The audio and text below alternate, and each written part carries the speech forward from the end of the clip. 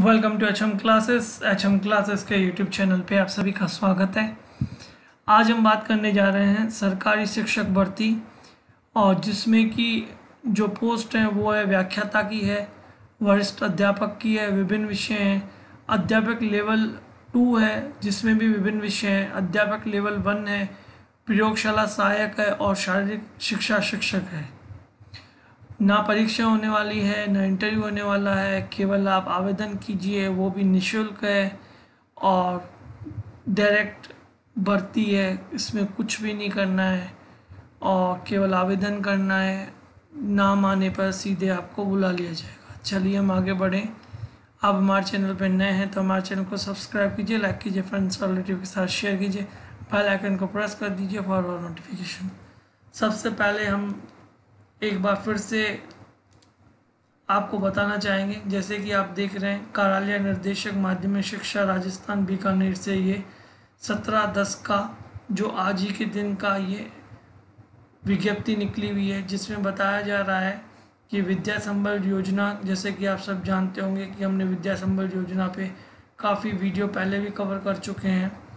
आ, उस पर यदि उस योजना के अंतर्गत ये भर्ती होने जा रही है। और भर्ती में जो मैंने बता दिए विषय जो हैं स्कूल लेक्चर है जो एलेवन ट्वेल्थ को पढ़ाएँगे। आ, फिर नाइन टेंथ के लिए सभी विषय हैं।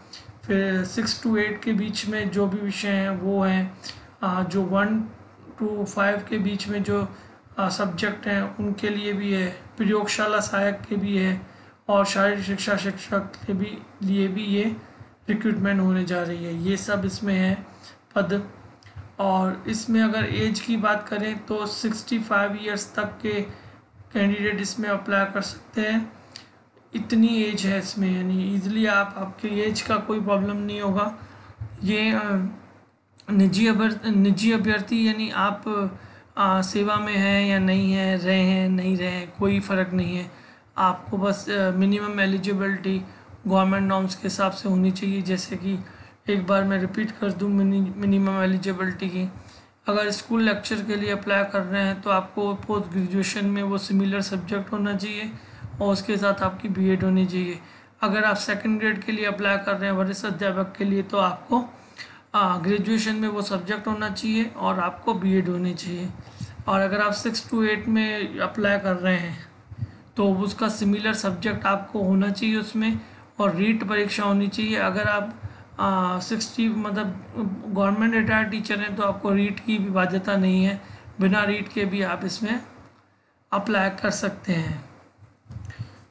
कॉमन एलिजिबिलिटी है, जो नॉर्मल रहती है।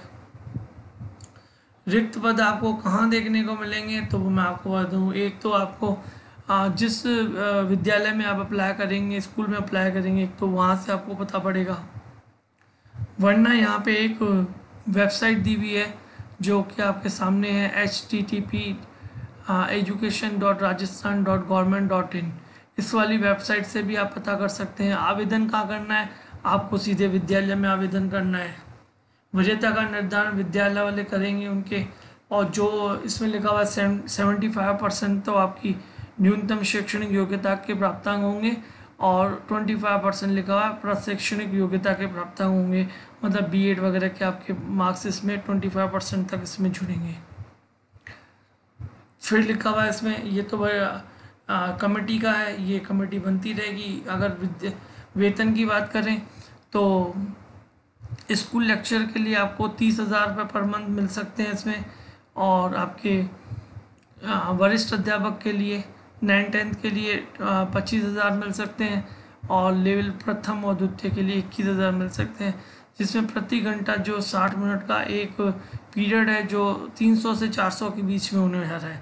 चार भी पीरियड अगर आपको मिले तो पर डे सोलह सौ रुपये होते हैं। सोलह सौ को आप इंटू करोगे तो फिर भी थर्टी थाउज़ेंड के मैक्सिमम चला जाता है, जो कि इसमें अधिकतम मासिक मानदेय तीस हज़ार तक है।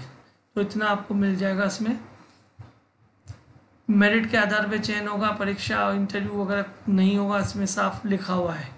अब हम इम्पोर्टेंट डेट्स की बात करते हैं। ये विज्ञप्तियाँ आपको एक नवंबर तक इनकी वेबसाइट या स्कूल पर देखने को मिलेगी। दो तारीख से चार तारीख के बीच में दो, तीन, चार, तीन दिन मिलेंगे आपको आवेदन करने के। पाँच तारीख को प्राप्त आवेदनों की सूची प्रकाशित करना स्कूल में होगी वो। और सात तारीख को पात्रता की जाँच और एक अस्थायी सूची जारी कर दी जाएगी। नौ तारीख तक आपत्तियाँ मांगेंगे कि जो भी आपत्ति हो और स्थायी सूची आपको दस तारीख को मिल जाएगी और ग्यारह तारीख को मूल दस्तावेजों की जाँच कर ली जाएगी और बारह तारीख से आदेश जारी हो जाएँगे। और कार्य ग्रहण करने की अंतिम तिथि उन्नीस ग्यारह के बीच तक आप इसमें ज्वाइन कर सकते हैं। और ये यहाँ पर आपको आवेदन का प्रारूप भी दिया हुआ है। कि बहुत सिंपल है, इजी है, यहाँ पे शपथ पत्र है, इसको भी आपको भर के इनको देना है इसमें। कोई प्रॉब्लम नहीं है, बहुत इजी है, इजी वे में है। इससे रिलेटेड कोई भी आपको क्वेश्चन या क्वेरी हो तो आप कमेंट कर सकते हैं। इससे रिलेटेड कोई भी क्वेश्चन हो तो आप पूछ सकते हैं। जो भी इसकी विज्ञप्ति आती जाती रहेगी, जो भी आना शुरू हो जाएगी तो हम आपके साथ शेयर कर देंगे। हमारे जो यूट्यूब चैनल है, उसके कम्युनिटी टैब में आपको इसकी विज्ञप्तियाँ मिलती रहेंगी।